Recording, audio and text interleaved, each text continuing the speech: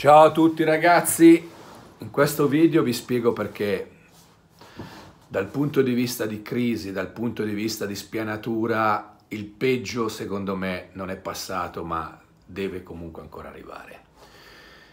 Prima di essere un po' diciamo pessimista, ma più che pessimista realista, vi ricordo l'appuntamento, almeno stiamo fra di noi, visto che comunque settimana scorsa ci siamo divertiti come pazzi, Facciamo il pranzo di Natale alla quercia, ok? Vi aspetto sabato questo che arriva 16 dicembre, sabato, pranzo di Natale con lo stinco di birra, stinco, stinco la birra, stinco di maia la birra e poi facciamo un po' di tombolate, ne faremo più di una visto che comunque il pranzo di Natale io starò starò lì, staremo lì un po' fino a pomeriggio tardi, comunque cominciamo a mezzogiorno. Via Franchini 5, ok, a Mendrise vi aspetto sabato, eh ragazzi almeno ci facciamo un po' gli auguri di Natale. Poi io sono lì tutti i sabati, però più o meno, eh, ragazzi, da gennaio. Comunque dopo penso che chiuderanno, comunque sabato facciamo il pranzo di Natale. Comunque vi aspetto ragazzi che almeno ci facciamo un po' di compagnia. Sul discorso, sul discorso diciamo della situazione perché il peggio deve, ancora arrivare. Mi hanno mandato, ho visto, mi hanno mandato un video fatto da uno, un video un po' lambrenedettiano direi, dove fa vedere come i prezzi, il costo della vita sia comunque fortemente aumentato per quanto riguarda i generi alimentari Devo dire che anche all'estero, anche lì la situazione è aumentata, però per esempio per quanto riguarda la Germania non ho visto degli aumenti così esagerati, ci sono stati ma non così esagerati. Da noi veramente oggi andare, una volta andavi al supermercato, non è che uscivi con tantissimi prodotti per modo di dire andavi a un discount e magari con 50 euro eh, facevi comunque una spesa abbastanza, non dico decente, ma con 50 euro qualcosa compravi.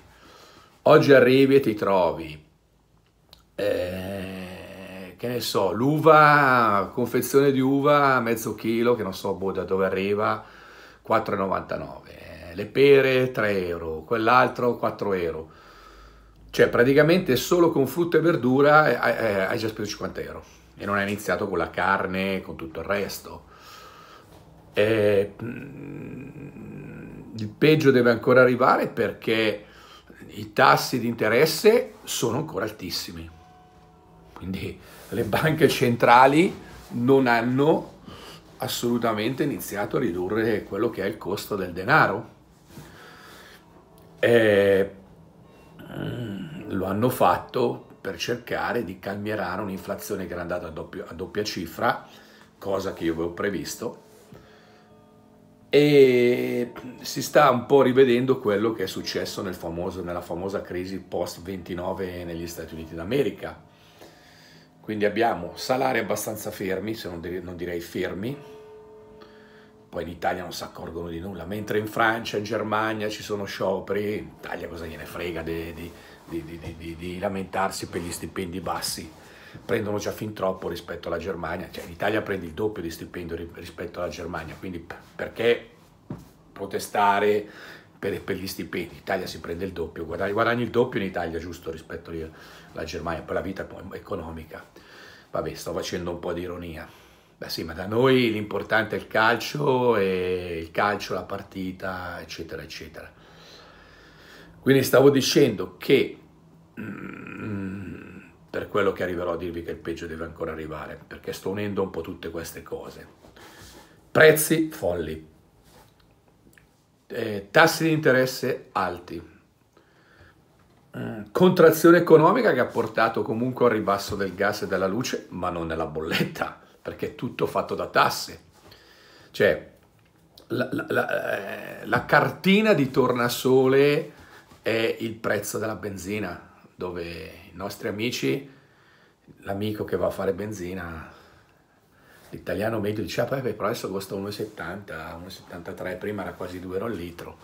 Sì, peccato, peccato che il prezzo del petrolio è crollato di 30-40 dollari. Peccato che quando il prezzo del petrolio stava a 150 dollari anni fa il prezzo della benzina era 1,30 euro. Adesso che siamo a, a, al 50% in meno, siamo a 70 rotti, eh, il prezzo del, dovrebbe costare, se a 150 dollari costava 1,30 euro, a 70 dollari dovrebbe costare 65 centesimi la benzina, più o meno. Più o meno, sì. Quello che dicevano, poi ognuno dice no, aboliremo, faremo.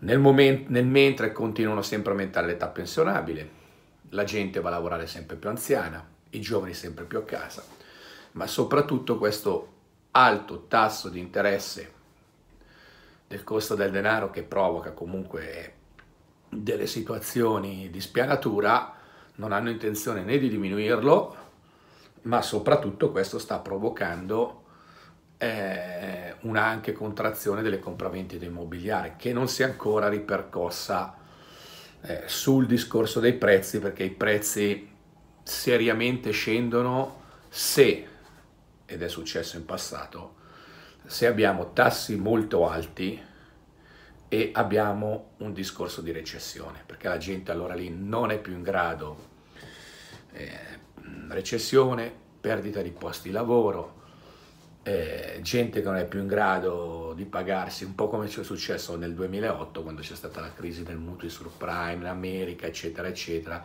che ha colpito fortemente la Spagna, anche l'Italia, eccetera, eccetera. Tanto è vero che poi il vero crollo, anche a livello di prezzi, è stato dal 2011 al 2015. Quindi due anni, do, tre anni dopo eh, esattamente l'inizio della crisi, 2011-2015 che è partita nel 2008, quindi tre anni dopo. Se da noi diciamo, abbiamo iniziato questa situazione ciclica di crisi nel 2000, nel 2000-2001 eh, e nell'ultima crisi si è poi vista mh, mm, la coda a partire dal 2011 al 2015, potrebbe essere quindi tre anni dopo, stiamo parlando del 2024-2025, quindi, quindi per quello che non sono per nulla ottimista. Eh, l'economia è molto ferma, gli ordinativi a livello anche industriale sono molto fermi, eh, c'è, in giro una bella aria a livello economico proprio di, eh, di spianatura, eh, supportata poi da un discorso di, di caro vita allucinante. Cioè, Oggi vai, uscisci e ti trovi che costa tutto esageratamente folle. Poi, miracolosamente l'unico posto che ha tenuto un po' è il Barosteria della Quercia, che essendo in Svizzera comunque abbiamo prezzi italiani. Però fondamentalmente a parte di qualche qualcosa macchia di leopardo, eh, i prezzi veramente sono, sono diventati folle. Per quello che con tassi ancora alti, con tassi ancora alti e con una contrazione così economica, penso che gli anni diciamo, peggiori arriveranno nel 2024-2025 e a livello, se qualcuno ha un po' di cash, di prendere casa, forse i prezzi migliori si troveranno dal 2024 al 2025, secondo me, dove io stavo vedendo addirittura adesso in alcune zone a pochi minuti da Lecco, ho visto appartamenti già a 25.000 euro. Buoni, buoni. Probabilmente gente che, non lo so, è stata spianata, sarà una seconda casa, però non nei centri abitati. Però secondo me queste opportunità aumenteranno sempre di più perché la gente è sempre più, secondo me, in crisi. Ovviamente la crisi non la vede chi ha eh, la pancia piena. Ciao a tutti ragazzi, scrivetemi nei commenti che cosa ne ne pensate? Vi aspetto sabato, sabato 16, ok, vi aspetto questo sabato 16 al bar Osteria La Quercia da mezzogiorno in poi siamo lì, ho capito? Capito ragazzi per il pranzo di Natale, vi aspetto ragazzi ci divertiamoci anche il milionario eh? e un po' di amiche, arriva anche la mia amica del Kazakistan, la Olga.